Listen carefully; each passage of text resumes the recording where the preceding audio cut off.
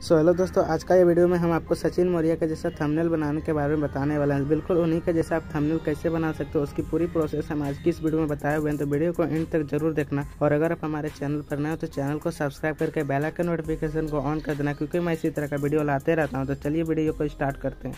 तो आपको सबसे पहले पिक्सल एप्लीकेशन ओपन करना होगा। फिर आपको यहाँ पर बैकग्राउंड इमेज सेलेक्ट करना होगा। बैकग्राउंड इमेज सेलेक्ट करने के लिए आपको फ्रॉम गैलरी पर जाना है। फ्रॉम गैलरी पर जाने के बाद आपको यहाँ पर बैकग्राउंड इमेज सेलेक्ट करना है, जो हम आपको दिए थे।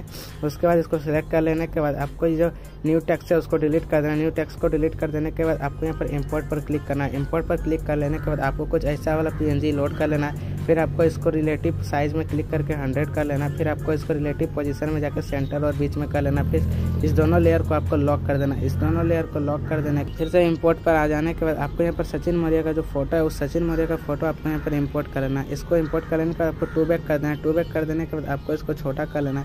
छोटा कर लेने के बाद कुछ इस तरह आपको यहाँ पर एडजस्ट कर लेना। इस तरह एडजस्ट कर लेने के बाद आपको इसमें शेडो लगा देना। है इसे शेडो लगा देने के बाद इसमें ग्रीन शेडो आपको लगाना है। इसे ग्रीन शेडो हम इससे सेलेक्ट कर ले रहे हैं। जैसे ये ग्रीन शेडो हम सेलेक्ट किए उसके बाद ओके पर क्लिक कर देना है। इस तरह कुछ कर लेने के बाद आपको इसे रिलेटिव साइज़ में जाकर इसको सेंटर में कर लेना है।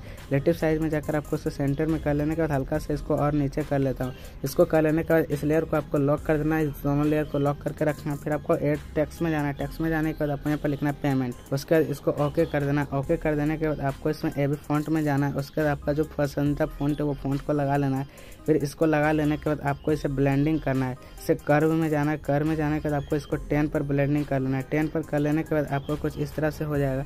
फिर इसको इस तरह कर लेने के बाद आपको इसे बड़ा कर लेना है हल्का सा। इस तरह बड़ा कर लेने के बाद आपको इसे जहाँ पर सेट करना है, हम इसे सेंटर में सेट कर लेना है। सेंटर में सेट कर लेने के बाद इसका कलर को आपको ब्लैक कर देना कलर को ब्लैक कर देने के बाद आप इसे एडजस्ट कर लेंगे अपने हिसाब से। कलर को ब्लैक कर देने के बाद इस लेयर को लॉक कर देना लॉक कर देने के बाद आपको फिर से न्यू टेक्स्ट पर आना है। यहाँ पर आपको 28 लिखना है। 28 लिख लेने के बाद आपको यहाँ पर इसको बड़ा कर लेना है हल्का सा। और इसका भी फॉन्ट आप चेंज करना चाहते हैं फॉन्ट चेंज कर सकते हो अपने हिसाब से। ये भी फॉन्ट हम सिलेक्ट कर लिए इसके बाद इससे हम एडजस्ट कर ले रहे हैं। कलर को आपको ब्लैक कर देना है। कलर को ब्लैक कर देने के बाद इस लेयर को भी आपको लॉक करना है। फिर इसका कॉपी कर लेना है। कॉपी कर लेने के बाद आपको इस कॉपी लेयर में आपको टी एच लिखना है। टी एच लिखने के बाद आप इसे एडजस्ट करके आप इसे जितना छोटा करना चाहते हैं, उतना इससे यहाँ से हम छोटा कर ले रहे हैं। साइज़ में जाकर यहाँ से हम छोटा करके इसको एडजस्ट कर लेते हैं ट्वेंटी एट के ऊपर में।